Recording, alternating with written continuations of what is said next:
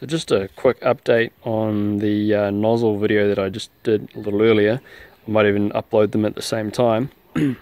that was a finish that I got. I just brought it outside into the into the sunlight, give you a better idea of the type of finish uh, it was giving off. That was in the uh, the dishwasher cabinet, uh, working as a as a siphon feeding nozzle.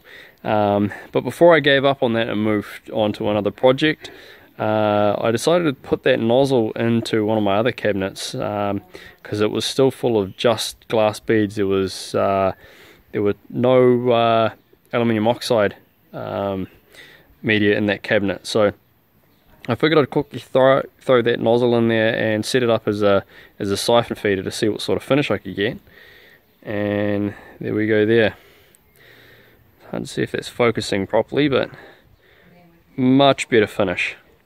So I think the big issue there in the dishwasher cabinet was that it uh, still had that aluminium oxide in there and the heavy beads and it just wasn't feeding up to the nozzle properly. So when I put it in the other cabinet and um, I'll take you over uh, how I set that up in a second um, much better finish. So I haven't changed anything else on that nozzle.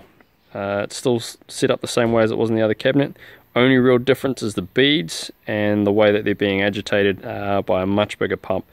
Um, but I'll take you over that setup there in a second. Much better finish. So um, that was before. You can kind of see it's a little dark in places. It's taken a lot longer.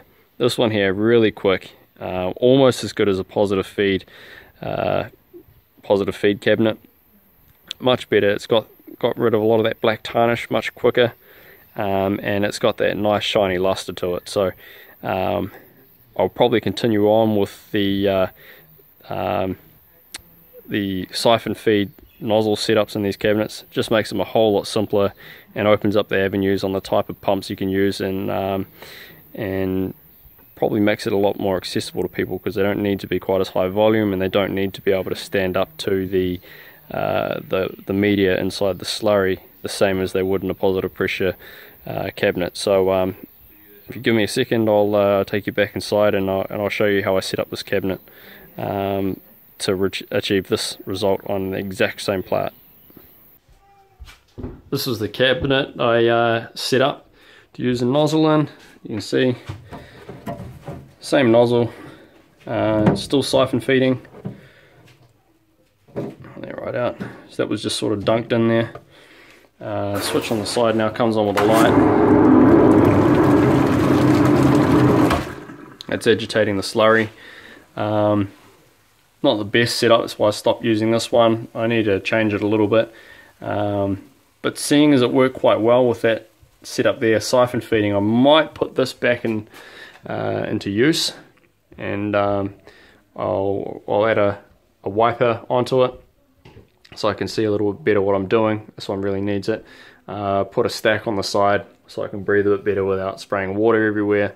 Uh, get rid of that filter that was just on there to stop it uh, spilling water everywhere. Uh, it still leaks a little bit, but it's, it's fine for testing.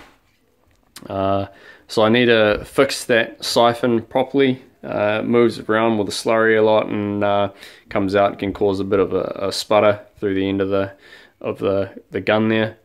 Um, but as I showed you that part, it does seem to work, so I'll probably continue to prototype using this one uh, rather than the dishwasher. The dishwasher works, nice and novel, but I've proven it, that it works, and um, the video is already up, so you can see how I did that.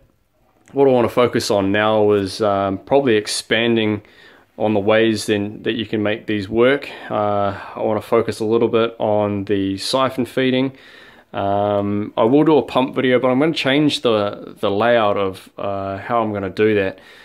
Um, having learned what I've learned today, I'll probably divide it into two separate videos. So I want to do a little bit more work um, on, on just how I'm going to set them up. Um, I've got a few more ideas that I want to try out before I do that video. So I might do a basic one uh, for anyone who wants to do a uh, positive pressure nozzle setup uh, similar to the ones I'm running in my other cabinets, uh, the more traditional style. Um, I'll do a video on those to give you something to get going with. Um, for anyone who wants to try with the siphon setup, uh, I'll continue on prototyping these and, and just see what I can learn. Um, see what sort of pumps you can use and, and we'll go from there and, and probably do a second video. Um, I'll probably upload this video with the one I did on the gun and the dishwasher cabinet just before. I'll put them up on the same day. Um, and hopefully during this week I'll get a bit of time to finish doing the pump video and get that up before next weekend.